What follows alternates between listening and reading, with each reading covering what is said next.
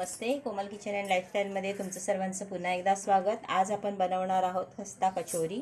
त्याच्यासाठी आपल्याला लागणार आहे शंभर ग्रॅम मैदा चवीप्रमाणे मीठ पन्नास ग्रॅम आपल्याला गव्हाचं पीठ लागणार आहे. हे व्यवस्थित चाळून घ्यायचं आहे. छान मिक्स करून घ्यायचं आहे त्याच्यामध्ये टाकणार आहोत एक छोटा चमचा तेल. व्यवस्थित मिक्स करून त्याच्यामध्ये थोडं थोडं पाणी टाकून व्यवस्थित ह्याचं पीठ मळून घ्यायचं आहे. पीठ आपलं छान मळून झालेलं आहे. एवढं पीठ मळण्यासाठी आपल्याला सत्तर ते पंच्याहत्तर एम एल पाणी लागलेलं आहे. त्याच्यावरती आपण थोडंसं तेल लावून पुन्हा एकदा व्यवस्थित मळून आपण हे पीठ एका साईडला दहा मिनटं झाकून ठेवणार आहोत. आता आपण कचोरीमध्ये भरण्यासाठी मसाला बनवणार आहोत. त्याच्यासाठी मी सर्वात पहिला घेतलेला आहे एक मोठा चमचा भरून धणे एक चमचा मी घेतलेला आहे बडीसोप अर्धा चमचा जिरं. हे व्यवस्थित भाजून घेणार आहोत. धणे बडीसोप जिरं व्यवस्थित भाजून घेतलेलं आहे. आता आपण मिक्सरमधून त्याचं भरटसर वाटून घेणार आहोत. सेम भांड्यामध्ये आपण हिरवी मिरची कोथिंबरी आणि आलं लसूणसुद्धा भरडसर वाटून घेणार आहोत.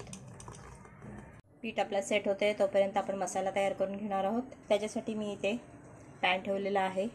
त्याच्यामध्ये एक ते दीड चमचा तेल गरम करून घेतलेला आहे. त्यात आपण टाकणार आहोत पाव चमचा राई आणि त्याच्यामध्ये मी थोडंसं हिंग टाकलेलं आहे.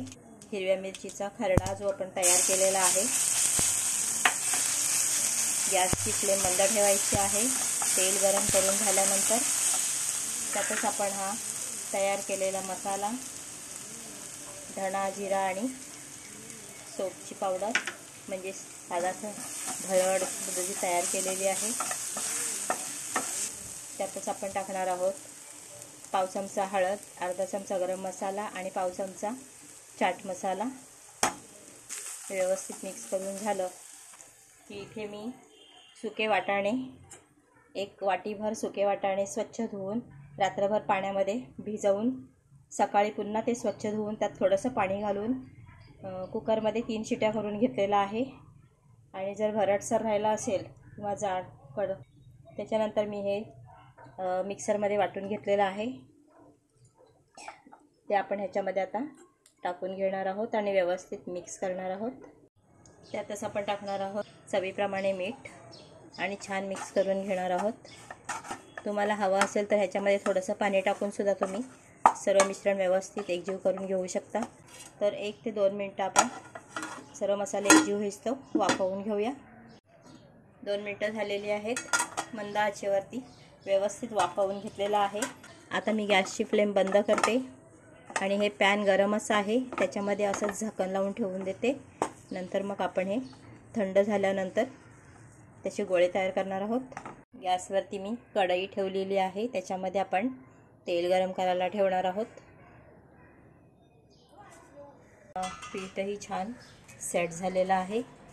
तर आपण ह्याच्यात छोट्या छोट्या गोळ्या तयार करून घेणार आहोत.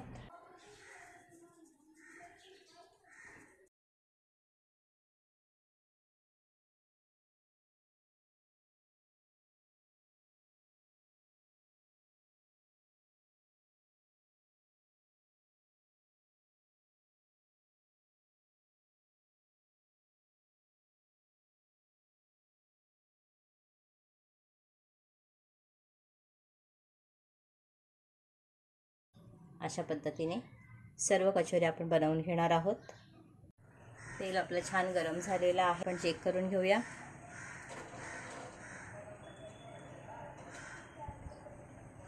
आपल्याला असंच तेल गरम हवं आहे आता आपण मध्यम आचेवरती हे तळून घेऊया.